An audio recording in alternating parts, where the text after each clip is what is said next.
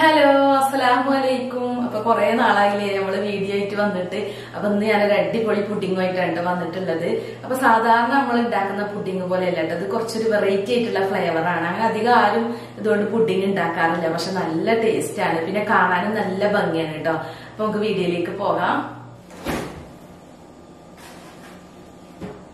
അപ്പൊ ഇന്ന് ഇതുകൊണ്ടാണ് കേട്ടോ പുഡിംഗ് ഉണ്ടാക്കുന്നത്. കണ്ട ചിലപ്പോൾ പച്ചമാങ്ങ എന്നൊക്കെ തോന്നും അല്ലെങ്കിൽ പേരക്കയാണ് തോന്നും അല്ലെ ഇത് അവക്കോടാണ് കേട്ടോ അവക്കാടോ എന്ന് പറഞ്ഞാൽ ബട്ടർ ഫ്രൂട്ട് എല്ലാവർക്കും അറിയും. അപ്പൊ ഇതോട് മിൽക്ക് ഷേക്ക് ഒക്കെ ഉണ്ടാക്കിയ നല്ല രസമാണ് അതുപോലെ പുഡിങ് ഉണ്ടാക്കാം കേട്ടോ അപ്പൊ ഇന്ന് നമുക്ക് പുഡിംഗ് ഉണ്ടാക്കാം.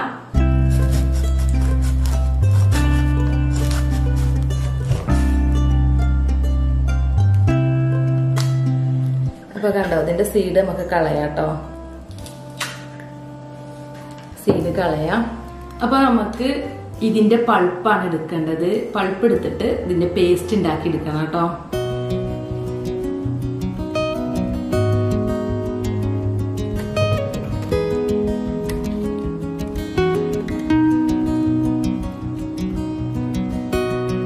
അപ്പൊ അത് ശരിക്കും നല്ല പോലെ പൾപ്പിയായിട്ട് പഴുത്തിട്ടില്ല കേട്ടോ. അതുകൊണ്ട് ഞാനിപ്പോ ഇതിന്റെ സ്കിന്ന് പീൽ ചെയ്ത് കളഞ്ഞിട്ടാണ് കേട്ടോ. അതിന്റെ പൾപ്പ് എടുക്കുന്നത്. നല്ല പോലെ പഴുത്തതാണെന്നുണ്ടെങ്കിൽ നമുക്ക് സ്പൂൺ കൊണ്ട് തന്നെ കോരിയെടുക്കുക അത് കുറച്ച് ടഫായിട്ട് തോന്നുന്നുണ്ട് കേട്ടോ. അപ്പൊ അങ്ങനെ ചെയ്താലും മതി. ഇനിയിപ്പോ നല്ല പഴുത്തതാണ് നല്ല വലുതൊക്കെ ആണെന്നുണ്ടെങ്കിൽ നമുക്ക് നല്ല സുഖമായിട്ട് സ്പൂൺ കൊണ്ട് കോരിയ കംപ്ലീറ്റ് പൾപ്പ് കൊണ്ട് പോരും. ഇപ്പൊ അങ്ങനെ പറ്റാത്തതുകൊണ്ട് ഞാനിപ്പോ ഇതിന്റെ സ്കിൻ ഇങ്ങനെ കളയാണ് കേട്ടോ. പിന്നെ നമ്മൾ ഈ ഗ്രീൻ പാർട്ട് കളയണം കേട്ടോ. ഗ്രീൻ പാർട്ട് കളയാതെ ഈ ഗ്രീൻ പാർട്ടല്ല ഈ സ്കിന്ന് കളയണം. അങ്ങനെ അതിന്റെ അടിയിലുള്ളൊരു പച്ച കളർ ഉണ്ട്. കളയാതെ ഇരുന്നാൽ നമ്മുടെ പുഡിങ്ങിന് നല്ല ഗ്രീൻ കളർ കിട്ടും കേട്ടോ. പിന്നെ നല്ലതുമാണ്. ഞാൻ മൂന്ന് ദിവസം പഴുപ്പിക്കാൻ വെച്ചു കേട്ടോ എന്നിട്ട് ശരിക്കും നല്ലപോലെ പഴുത്തിട്ടില്ല. അപ്പൊ അതിന് ഇത് ഇത്രയും പഴുക്കുള്ളൂ തോന്നുന്നുണ്ട്. അതുകൊണ്ട് നമുക്ക് ഇങ്ങനെ ഉണ്ടാക്കാം. പിന്നെ ഇത് പച്ച ടേസ്റ്റ് ഒന്നല്ല കേട്ടോ പഴുക്കൊക്കെ ചെയ്തിരിക്കണം പക്ഷെ നല്ല പോലെ പഴുപ്പിയിട്ടില്ല എന്നുള്ളൂ. അതിന്റെ ഫ്ലേവർ നല്ലോണം ഉണ്ട്. പച്ചന്റെ ചുവയൊന്നും അല്ല കേട്ടോ അപ്പൊ ഞാനിതൊക്കെ ഒന്ന് കട്ട് ചെയ്തെടുക്കട്ടെ.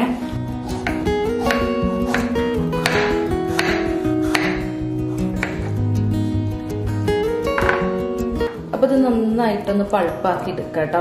മിക്സിന്റെ ജാറിലിട്ട്. വേണമെന്നുണ്ടെങ്കിൽ പാലൊഴിച്ചു കൊടുക്കുക. അല്ലാന്നുണ്ടെങ്കിൽ ഇങ്ങനെ അരയുന്നുണ്ടെങ്കിൽ ഇങ്ങനെ തന്നെ അരച്ചെടുക്കാം ഇപ്പൊ കണ്ടോ? നല്ല ഭംഗിയുള്ളൊരു കളറാണ് ഇതിന്.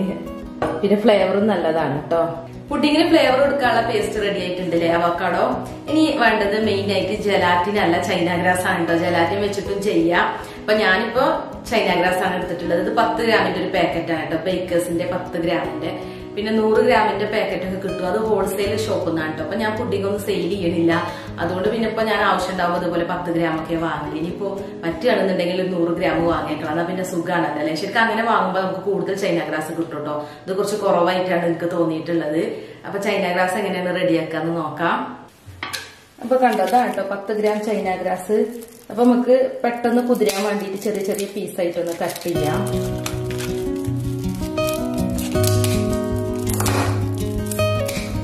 ഇത് സോക്ക് ചെയ്യാൻ വേണ്ടിയിട്ട് ഒരു കപ്പ് തിളച്ച വെള്ളമാണ് കേട്ടോ ഒഴിക്കണത് തിളച്ച വെള്ളത്തിൽ കുതിർത്തുകയാണെന്നുണ്ടെങ്കിൽ പെട്ടെന്ന് തന്നെ കുതിർന്ന് കിട്ടും.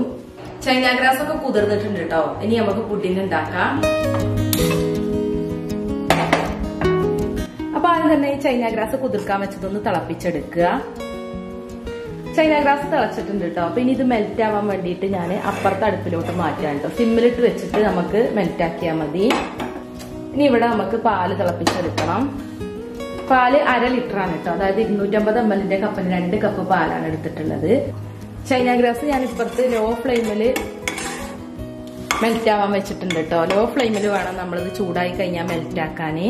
അപ്പൊ ചൈന ഗ്രാസ് ഇവിടെ മെൽറ്റ് ആവണം അതേ സമയം അപ്പുറത്ത് നമ്മളെ പാലൊന്ന് ചൂടാക്കി എടുത്താൽ മതി. പാൽ ചൂടായിരിക്കുന്നു കേട്ടോ. പാൽ ചൂടായാൽ മതി. നല്ല പോലെ തിളക്കേണ്ട ആവശ്യമില്ല. പാൽ ചൂടായി കഴിഞ്ഞാൽ പിന്നെ നമുക്ക് ഇതിലേക്ക് പഞ്ചസാര ഇട്ട് കൊടുക്കാം കേട്ടോ. ഞാനിപ്പോ മുക്കാൽ കപ്പ് പഞ്ചസാരയാണ് ചേർക്കണത്. അവക്കാടോയിൽ തീരെ മധുരം ഉണ്ടാവില്ലല്ലോ. പഞ്ചസാര ചേർത്തിട്ടുണ്ട്.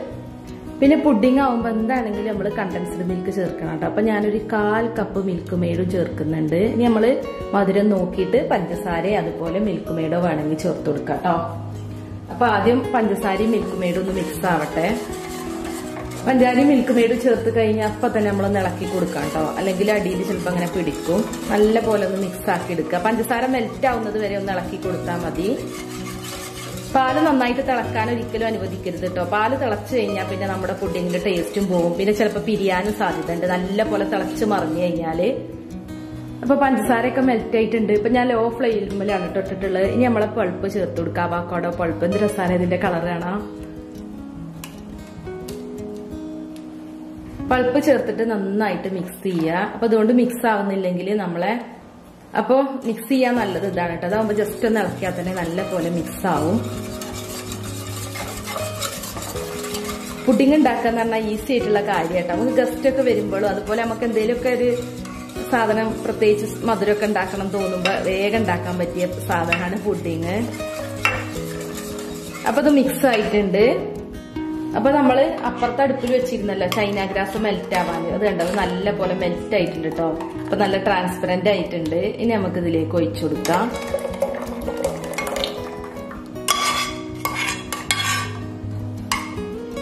ചൈന ഗ്രാസ് ചേർത്തേക്കൽ നല്ല പോലെ മിക്സ് ചെയ്യുക ഞാനിപ്പോ ലോ ഫ്ലെയിമിലാണ് ഇട്ടിട്ടുള്ളത്. അത് പ്രത്യേകം ശ്രദ്ധിക്കണം. ഹൈ ഫ്ലെയിമിലിട്ട് പാൽ തിളപ്പിച്ചിട്ട് നമ്മൾ ചൈന ഗ്രാസ് ചേർക്കുകയാണെങ്കിൽ ചിലപ്പോൾ പിരിയും. പിന്നെ നല്ല ഫ്രഷ് പാലൊക്കെയാണ്. അതിപ്പോ നമ്മൾ നല്ല ഫ്രഷ് പാൽ തന്നെയാണ് എടുത്തിട്ടുള്ളത്. അപ്പൊ നല്ല പോലെ ഇളക്കി കൊടുക്കുക. ഇനി നമുക്ക് മധുരം ഒന്ന് ടെസ്റ്റ് ചെയ്ത് നോക്കാം കേട്ടോ കാരണം മധുരം പാകത്തിനുണ്ടോ ഇല്ലേന്ന് അറിഞ്ഞിട്ട് വേണം നമുക്ക് ഇനി പഞ്ചസാര അല്ലെങ്കിൽ മിൽക്ക് മെയ്ഡോ ഒക്കെ ചേർക്കാൻ അപ്പൊ ഞാനൊന്ന് ചെക്ക് ചെയ്യട്ടെ. ഇത് കറക്റ്റ് പാകത്തെ മധുരമാണ് കേട്ടോ അപ്പൊ നമുക്ക് ഫ്ലെയിം ഓഫ് ചെയ്യാം. എന്നിട്ട് ചൂടോട് കൂടി തന്നെ നമ്മൾ ഏത് പാത്രത്തിലാണോ പുഡിങ് സെറ്റ് ചെയ്യാൻ ഉദ്ദേശിക്കുന്നത് അതിലേക്ക് ഒഴിച്ചു കൊടുക്കാം. അപ്പൊ നമ്മൾ പുഡിംഗ് മിക്സ് ഒഴിച്ചു കൊടുക്കുമ്പോൾ എപ്പോഴും അരിച്ചിട്ട് വേണം കേട്ടോ ഒഴിച്ചു കൊടുക്കാൻ ചിലപ്പോ മെൽറ്റ് ആവാതെ കിടക്കുന്ന ചൈന ഗ്രാസിന്റെ തരികൾ ഉണ്ടാവും അതുപോലെ നമ്മൾ അരച്ചിട്ടുള്ള പൾപ്പ് ചിലപ്പോൾ അരയാതെ കിടക്കുന്നുണ്ടാവും. അതൊക്കെ മാറാനാണ് കേട്ടോ. കണ്ടോ? ഇത്രയും തരികളൊക്കെ ഉണ്ട്. അപ്പൊ അതൊക്കെ ഇതിൽ പെടാതിരിക്കാനാണ് കേട്ടോ നമ്മൾ അരിക്കുന്നത് ഇനി നമ്മൾ ശ്രദ്ധിക്കേണ്ടത് നല്ലൊരു ഫിനിഷിംഗ് ടച്ച് ഇട്ടാൻ ഇതുണ്ടല്ലോ ഈ ബബിൾസ് ഒന്ന് എടുത്ത് കളയാം കേട്ടോ. പിന്നെ നമ്മളിത് റൂം ടെമ്പറേച്ചർ ആവണത് വരെ വെയിറ്റ് ചെയ്യണം കേട്ടോ എന്നിട്ട് ജസ്റ്റ് ഒന്ന് പാകത്തിനൊന്ന് സെറ്റായി വരുമ്പോൾ നമുക്ക് ഇതിന്റെ ഉള്ളിൽ ഗാർണിഷ് ചെയ്യാൻ വേണ്ടിയിട്ടുള്ള ഐറ്റംസ് ഇട്ട് കൊടുക്കാം നല്ല പോലെ ഭംഗിക്ക് വേണ്ടിയിട്ടാണ് ഗാർണിഷ് ചെയ്യുന്നത് വെച്ചാൽ നല്ല പോലെ സെറ്റായിട്ട് മതി കേട്ടോ നമുക്ക് ഉള്ളിൽ കടിക്കാൻ കിട്ടണമെന്നുണ്ടെങ്കിൽ ഒരു പകുതി സെറ്റായി കഴിയുമ്പോൾ നമുക്ക് കഷ്ണങ്ങളോ എന്തെങ്കിലും ഗാർണിഷ് ചെയ്യാനുള്ള ഐറ്റംസ് ഇട്ട് കൊടുക്കാം. അല്ല ഭംഗിക്ക് വേണ്ടിയാണെന്നുണ്ടെങ്കിൽ പിന്നെ നല്ല പോലെ സെറ്റ് ആയിട്ട് മതി. അപ്പൊ ഇതൊന്ന് റൂം ടെമ്പറേച്ചർ ആവട്ടെ. എന്നിട്ട് നമുക്ക് ഫ്രിഡ്ജിക്ക് മാറ്റണം. അപ്പൊ റൂം ടെമ്പറേച്ചർ ആവാൻ വേണ്ടിയിട്ട് മാറ്റി വെച്ചിട്ടുണ്ട് കേട്ടോ പിന്നെ ഇനി ഒന്ന് പകുതി ഒന്ന് സെറ്റ് ആയിട്ട് കഴിയുമ്പോൾ നമുക്ക് പുഡിങ് കഴിക്കുമ്പോൾ കടിക്കാൻ കിട്ടണമെന്നുണ്ടെങ്കിൽ ഗാർണിഷ് ചെയ്യാൻ വേണ്ടിയിട്ടുള്ള ഐറ്റംസ് ഇട്ട് കൊടുക്കാം. പിന്നെ നമ്മൾ കാണാൻ നല്ല ഭംഗിക്ക് വേണ്ടിയിട്ടാണ് ഗാർണിഷ് ചെയ്യുന്നത് വെച്ചാൽ നല്ല പോലെ സെറ്റ് ആയിട്ട് മതി കേട്ടോ അപ്പൊ തണുത്തതിന് ശേഷമാണ് നമ്മൾ ഫ്രിഡ്ജിൽ വെക്കേണ്ടത്. ഫ്രിഡ്ജിലാണ് വെക്കേണ്ടത് ഫ്രീസറിലല്ല. പിന്നെ പെട്ടെന്ന് തന്നെ നമുക്ക് എടുത്ത് കഴിക്കണം തോന്നുകയാണെന്നുണ്ടെങ്കിൽ തണുത്തതിന് ശേഷം കുറച്ച് സമയം ഒരു പതിനഞ്ച് മിനിറ്റ് ഒക്കെ ഫ്രീസറിൽ വെക്കട്ടെ. അപ്പൊ പിന്നെ പെട്ടെന്ന് സെറ്റ് ആയിട്ട് കിട്ടും. അല്ലാതെ കുറെ സമയം ഫ്രീസറിൽ വെക്കരുത്. അപ്പൊ നമ്മളെ പുഡിങ് ഐസ്ക്രീം അല്ല ഐസ് ആയിട്ട് മാറും. അപ്പൊ നമുക്കിത് തണുക്കാൻ വേണ്ടിയിട്ടൊന്ന് വെയിറ്റ് ചെയ്യാം. ഈ തണുത്തിട്ട് കാണാം കേട്ടോ. അതെ. നമ്മളെ പുഡിങ് ചൂടാറിയതിനു ശേഷം ഞാൻ ഫ്രീസറിൽ വെച്ചു. അരമണിക്കൂറായിട്ടുണ്ട്. മണിക്കൂറായിട്ടുണ്ട് അപ്പൊ പുഡിങ് സെറ്റ് ആയിട്ടുണ്ടാവും. പെട്ടെന്ന് എടുക്കാൻ വേണ്ടിയിട്ടാണ് ഫ്രീസറിൽ വെച്ചത്. അല്ലാന്നുണ്ടെങ്കിൽ നമ്മൾ ഫ്രിഡ്ജിൽ തന്നെ വെച്ചാൽ മതി. അങ്ങനെയാണെന്നുണ്ടെങ്കിൽ ഒരു മണിക്കൂർ കൊണ്ടൊക്കെ നമ്മളെ പുഡിങ് സെറ്റായി നല്ല തണുത്ത് കിട്ടും. ഫ്രീസറിലാവുമ്പോൾ പിന്നെ അരമണിക്കൂർ വെച്ചാൽ മതി. അപ്പൊ നമുക്ക് നോക്കി വെക്കാം നമ്മളെ പുഡിങ്ങിന്റെ അവസ്ഥ എന്താണ്.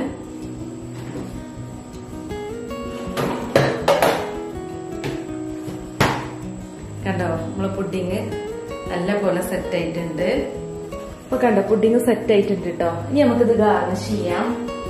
ഇപ്പൊ ഗാർണിഷ് ചെയ്യാൻ വേണ്ടിയിട്ട് ഞാൻ നെറ്റ്സ് ഇങ്ങനെ കട്ട് ചെയ്ത് വെച്ചിട്ടുണ്ട് കേട്ടോ ഞാൻ പറഞ്ഞ ഭംഗിക്ക് വേണ്ടിയിട്ട് നമ്മളിപ്പോ ഇതിന്റെ മുകളിൽ ഇട്ട് കൊടുക്കുകയാണ്.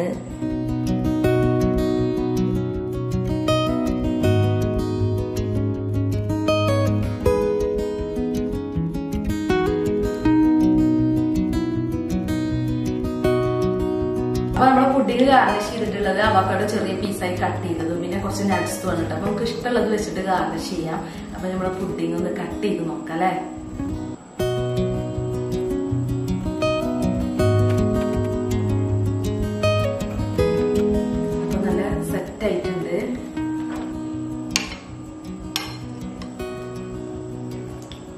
നല്ല രസമുണ്ട് കേട്ടോ നല്ല ഫ്ലേവറും ഉണ്ട്. ബട്ടറിന്റെ നല്ല ഫ്ലേവർ ഉണ്ട്. ബട്ടറിന്റെ അല്ല കേട്ടോ അല്ലെങ്കിൽ ബട്ടർ ഫ്രൂട്ട് അറിയാലോ അപ്പൊ നമ്മൾ പുഡിങ് ഇങ്ങനെ കഴിക്കുമ്പോ നമ്മൾ ഗാർണിഷ് ചെയ്തിട്ടുള്ള നട്സ് ഇങ്ങനെ കടിക്കാൻ കിട്ടും കേട്ടോ അപ്പൊ നല്ലൊരു രസമാണ് അപ്പൊ നമ്മൾ കളറൊന്നും ചേർക്കാതെ തന്നെ നമ്മുടെ പുഡിങ്ങിന് നല്ല ഒരു പിസ്ത കളർ കിട്ടിയിട്ടുണ്ട് കേട്ടോ എന്നാ പിസ്ത പുഡിംഗ് അല്ല നമ്മളെ പുഡിംഗ് എന്ന് പറയുന്നത് അവാക്കാടോ ആണ് അപ്പൊ ഗസ്റ്റ് ഒക്കെ വരുമ്പോ ഉണ്ടാക്കാൻ പറ്റിയ നല്ല പുഡിംഗ് ആട്ടോ പിന്നെ നമുക്ക് വെറുതെ കഴിക്കാൻ ഉണ്ടാക്കാം പുഡിംഗ് ഉണ്ടാക്കാൻ എളുപ്പമാണല്ലോ അപ്പൊ നല്ല രസമുണ്ട് കേട്ടോ പുഡിംഗ് അപ്പൊ നിങ്ങൾ ഉണ്ടാക്കി നോക്കുന്നുണ്ട് എന്നിട്ട് നിങ്ങളെ ഫീഡ്ബാക്ക് അറിയിക്കുക പിന്നെ നല്ല പഴുത്ത അവാക്കാടോ നോക്കി എടുക്കണം കേട്ടോ അപ്പൊ നല്ല ടേസ്റ്റ് ഉണ്ടാവും. അത് കുറച്ച് പഴുപ്പ് കുറവുണ്ടായിരുന്നു. എന്നാലും ടേസ്റ്റിന് കമ്മിയൊന്നുമില്ല. നല്ല രസം തന്നെയാണ്. പക്ഷെ നല്ല പഴുത്തതാകുമ്പോ അതൊരു വേറൊരു ടേസ്റ്റ് ആണ്. അപ്പോ നമ്മളെ വീഡിയോ ഇപ്പൊ ഇവിടെ അവസാനിക്കുകയാണ്. അപ്പൊ അടുത്തൊരു അടിപൊളി വീഡിയോ ആയിട്ട് നമുക്ക് വീണ്ടും കാണാം. അസ്സലാമലൈക്കും